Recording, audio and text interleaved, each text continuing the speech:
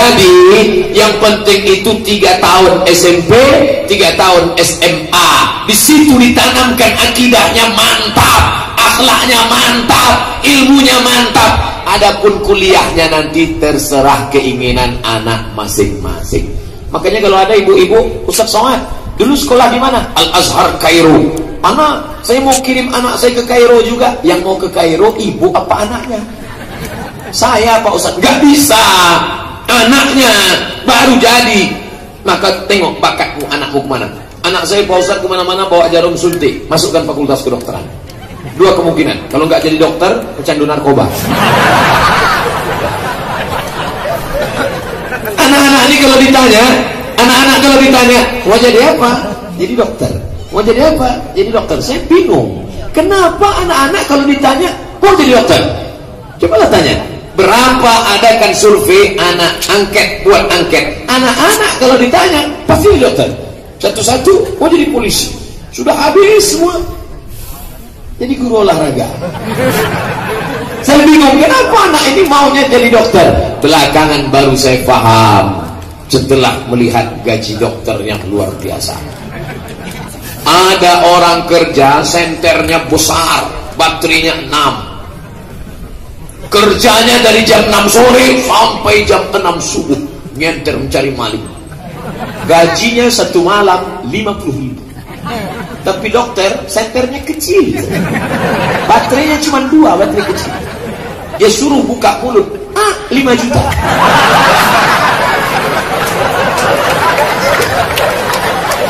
Sekarang kita tanya mau jadi apa? Jadi dokter. Ada tukang martilnya besar. Martil besar bat wow, kerja dari pagi sampai sore. Gaji satu hari tujuh puluh ribu. Tapi dokter martilnya kecil saja. Tangkainya sebesar lidi. Hanya dia pukul satu lutut tujuh juta. Lutut kiri tujuh juta. Siku kanan dua juta setengah. Makanya kalau ada anak bapak ke mana-mana bawa martil daftarkan dia ke fakultas kedokteran kalau gagal jadi tukang. Mohon maaf bapak tukang jangan tersinggung. Nanti tukang tersinggung. Sekarang saya tanya mana yang lebih efektif? Mana yang lebih bagus? Jadi ustaz apa? Jadi polisi? Jangan jawab. Diam dulu. Biarkan saya cerita. Saya mau ke masjid macet khutbah Jumat terlambat. Sampai di masjid sok paling belakang. Anak-anak kecil ramai begitu saya sampai anak-anak itu ketawa. Tidak ada yang mendengarkan khutbah. Ada bapak-bapaknya di depan juga tidak mendengarkan khutbah. Itu khotib berapi-api. Jamaah cuma yang dimuliakan Allah. Jamaahnya berair-air. Mereka tidak takut sama ustaz tapi tak lama sesudah itu masuk polisi. Polisi terlambat juga. Karena mereka mengurus lalu lintas. Begitu polisi masuk Allah Akbar. Anak-anak itu diam semua. Puncak semuanya. Kenapa anak-anak itu takut? Karena ada pistol besi. Walaupun pelurunya tinggal di rumah. Sekarang saya tanya mana yang lebih efektif? Ustadz apa polisi anak-anak kita nanti tamat yang mau jadi polisi. Silakan. Lihat bakatnya masing-masing. Anak saya ini sukanya mainnya ke sungai aja Pak Ustaz. Angkatan laut. Angkatan sungai? Lihat bakatnya masing-masing. Yang penting tiga tahun SMP tiga tahun SMA akidahnya mantap. Akidah itu apa? Dia tidak menyembah pokok kayu dia tidak menyembah batu dia tidak menyembah hantu dia kalau tidak disekolahkan Al-Azhar, tidak mengerti la ilaha illallah, dia tidak bisa bedakan mana hantu, mana Tuhan. Tuhan, Tuhan, Tuhan, Tuhan, Tuhan. Nanti pas dia sedang tidur, tiba-tiba datang berbisik. Hai, Fulah, aku adalah Jibril, dan kau sudah kuangkat menjadi Nabi. Kebetulan nama dia Nasrullah. Akhirnya dia nggak jadi ngaku Nabi. Nabi siapa? Nabi Nasrullah. Mana ada Nabi Nasrullah? Ini ayatnya. Iza ja'a Nasrullah. Jadi ngaku Nabi. tapi kalau dia disekolahkan di Al-Azhar mengerti di agama Nabi yang terakhir adalah Sayyidina wa Maulana Muhammad sallallahu alaihi tiap hari diajarkan guru-guru di Al-Azhar la nabiyya ba'dah tidak ada lagi nabi sesudah Muhammad sallallahu alaihi wasallam. Tiba-tiba anak-anak kita yang sekolah di Al-Azhar diangkat menjadi polisi bagian menangkap aliran sesat. Tangkap siapa namamu? Namaku Nabi Nasrullah. Mudah saja tinggal cari yang satu lagi ngaku Jibril. Ada sekarang ngaku Jibril. Aku adalah Jibril. Tangkap yang ngaku Jibril tangkap yang ngaku Nabi ah, ditanya hai Nabi iya pernah kamu menerima wahyu dari Jibril? Tidak kata dia. Lalu yang ngaku Jibril tanya kamu ngaku Jibril? Iya. Pernah kamu bawa wahyu kepada dia? Tidak. Tangkap. Konfrontasi. Cerdas dia. Kalau ada orang ngaku-ngaku Nabi. Dia tidak ngamuk tidak marah. Oh kamu ngaku Nabi ya? Iya. Siapa namamu tadi? Nasrullah. Jadi kamu Nabi? Iya. Jadi setiap ada nama dalam Quran berarti Nabi? Iya kalau begitu ada Nabi lagi setelah itu. Siapa namanya? Ini dia ayatnya. Qul wallahu ahad Allahu somad ini last edition. Nabi terakhir. Mana fotonya? Tuh. Enak aja. Mentang-mentang ada nama di dalam berarti dia Nabi. Tidak begitu ada pula mengaku nama-nama. Kalau tidak belajar bahasa Arab yang baik. Nama kamu siapa? Roy. Dari mana itu? ada dalam Quran Pak Ustaz. Mana dia? nih. Alif Lam Mim. Zakikal kitabul Roy. Mohon maaf Pak Roy. Jangan tersinggung. Saya harap Bapak Ibu jamaah kalau mendengar ceramah saya jangan tersinggung. Karena ada beberapa orang tersinggung dengar ceramah saya pulang langsung mati bukan saya mengaku hebat enggak. Kebetulan ajalnya udah sampai. Alhamdulillah saya dikawal oleh bapak-bapak dari kepolisian. Dikawal oleh saya lihat di belakang tertulis baju hitam bodyguard. Oh ini dari mana bodyguard? Ternyata dari panitia. Bodyguard ada polisi ada ada pula yang berseragam jingga di sana. Pemuda Pancasila. Pancasila kalau Pancasila jawabannya abadi Jadi itu Pancasila abadi tidak bertentangan Pancasila dengan Allahu Akbar kenapa? karena sila yang pertama ketuhanan yang Maha Esa Tuhan yang mana? Buka preambul pembukaan Undang-Undang Dasar 1945. Kita merdeka, kemerdekaan Indonesia atas berkat rahmat Allah Subhanahu wa taala. Jadi kalau ada yang membenturkan antara Pancasila dengan Allahu Akbar, ini orang goblok. Tidak baca sejarah. Itu Belanda lari pontang panting kenapa? Karena teriakan Bung Tomo di Surabaya, Allahu Akbar. Begitu yang berteriak Allah Akbar itu orang yang lapar 17 Agustus hari Jumat bulan Ramadan bendera dinaikkan oleh orang yang sedang puasa. Orang sedang puasa itu kalau teriak kuat dan Belanda ketakutan. Kalau orang kenyang mana bisa?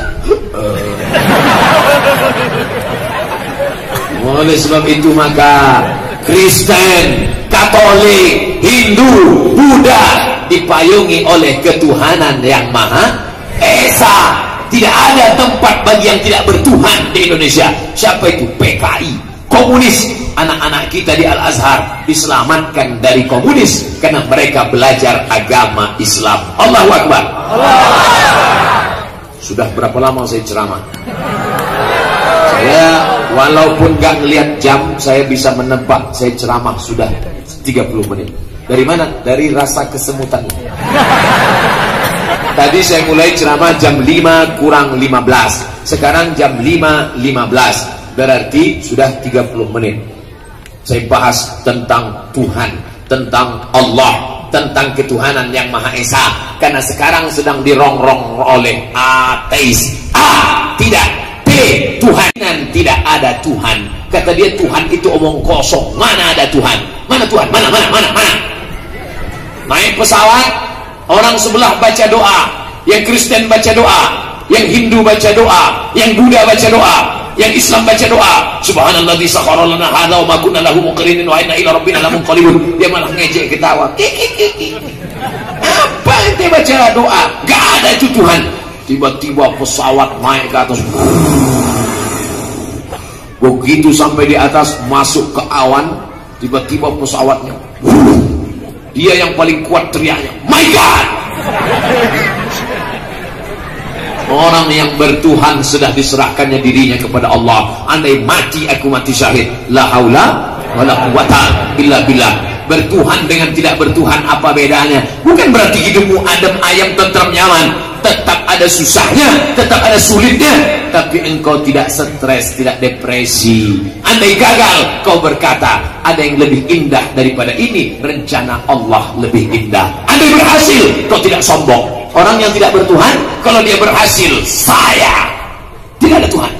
Tapi kalau dia gagal, stres, depresi, makan pil anjing gila stres, depresi, menyalahkan diri sendiri. Mengapa aku begini? Mengapa aku begini? Mengapa aku gagal? Mengapa aku gagal? Akhirnya masuk kamar mandi mau bunuh diri. Kebetulan ada tali digantungnya lehernya, lompat dari atas, bukannya dia mati, patah. Berat dia 120 kilo. Bunuh diri, tak jadi mati. Akhirnya cari rel kereta api, mana rel? Akhirnya sebelum mati sempat pula streaming. Saudaraku, harap kau ikhlaskan segala hutang-hutang aku mau bunuh diri. Akhirnya diletakkan leher di atas rel kereta api. Lewat kereta api. Setelah itu rupanya gak mati. Salah rel. Mau bunuh diri gantung diri gak mati. Mau bunuh diri pakai rel kereta api gak juga mati akhirnya masuk ke kamar mandi dicari mau apa? Super pel apa mama lemon oh, akhirnya diminumlah itu. Pokoknya semua yang ada diminum. Seminggu nggak mati juga. Akhirnya bubui-bubui aja Allah belum mematikan engkau. Kalau sudah masanya innama abruhu iza arada syai'an ayakula lahu kun. Mati engkau. Allah yang punya kuasa detak jantungmu. Darahmu menyembur dari jantung kalau mik mikrofon yang mahal-mahal itu bisa kedengaran Coba rasa di sebelah kiri, ada berdetak dia. Yang tidak berdetak tolong kasih tahu. Kain kafan sudah siap di belakang. Kau bernapas, tarik sekali, hembus sekali. Itulah hidupmu. Kau tarik sekali, kau hembus sekali. Ada yang tiga kali? Tidak, cuma dua kali. Kau tarik sekali, kau hembus sekali. Jantungmu berdetak. Begitu mudahnya Allah mematikanmu. Yuhyi wa yumiit selesai salat apa kau katakan? La ilaha illallah wahdahu la syarikalah lahul mulku. Dia yang punya kekuasaan. Kalau kau dipuji-puji orang walahul hamdu dia yang layak dipuji. Yuhyi wa yumiit dia yang menghidupkan engkau. Dia yang mematikan engkau wa huwa ala kulli syai'in qadir. Dia kuasa atas segala sesuatu. Anak-anak kita diajarkan bertuhan. Biar supaya jangan sombong. Makanya selesai sholat la ilaha illallah syarikalah lahul mulku wa lahul hamdu yuhyi wa yumiit wa huwa ala kulli syai'in qadir. Itu harus ditanamkan ke dalam hati. Diajarkan di lokal-lokal. Diajarkan di perpustakaan. Itu bukan selesai sholat asal-asal aja. Ini banyak yang selesai sholat asal-asalan aja nyebut qadir Qadir apa yang kau baca tadi? entah dari dulu dah gitu La ilaha illallah Muhammadun Rasulullah alaihi salatullah wa alihi wal ahibba La ilaha illallah Muhammadun Rasulullah